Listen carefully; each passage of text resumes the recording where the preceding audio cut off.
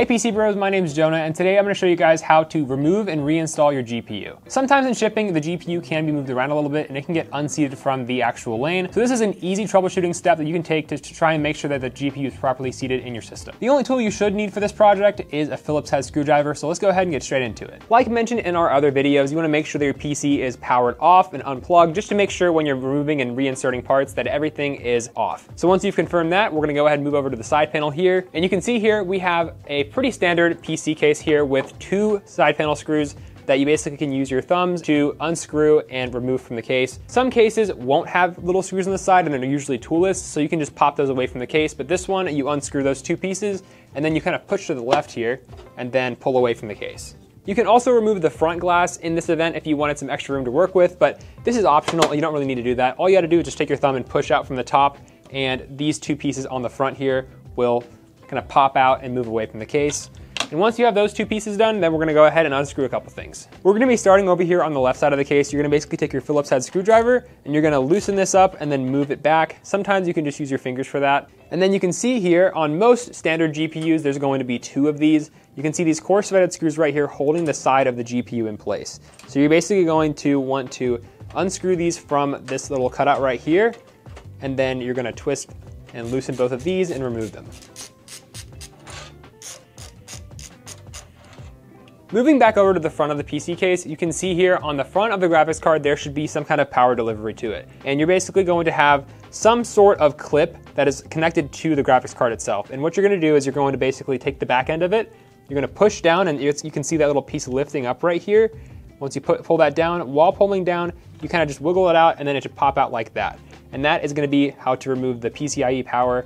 And the last step to removing a graphics card is going to be removing the clip that holds it into the motherboard. And there's basically a lane that the graphics card sits in on the motherboard, and all you have to do is locate this gray clip right here in the very back right of this whole clip area here, and you're just gonna push that back, and then once that's pushed back, you can kind of just wiggle the GPU out like so, and then there you go. You've removed the graphics card from the motherboard. Now is a good time to just quickly inspect the graphics card to make sure that it looks a-okay. This one has no damage whatsoever and it's basically new, so it shouldn't have anything wrong with it at all. So now that we have checked that, we're gonna go ahead and move back over to the motherboard and we're gonna make sure that this clip right here is out, so it is out right now. And then we're gonna go ahead and line up our graphics card again. There's a couple things you'll wanna check for while reinstalling the graphics card. You can see here on the left side of the card, you can see these two metal pins on the left side of the bracket, and you're gonna wanna make sure that those are to the left of the motherboard right over here.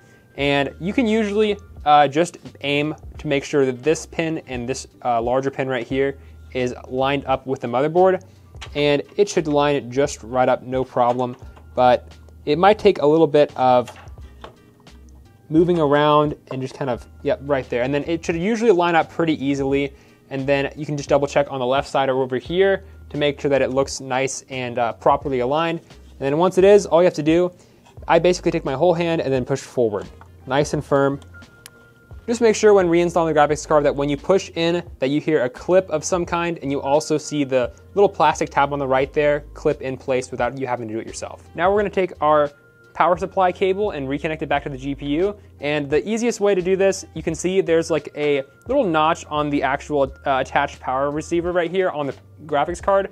And just make sure that that lines up with the actual clip that we uh, pushed down to pull this one out earlier in. So It'll only go on one way. You just push and then you'll hear a small clip right there knowing that the power supply cable is nice and installed. Once again, just line up the holes and screw in place like so.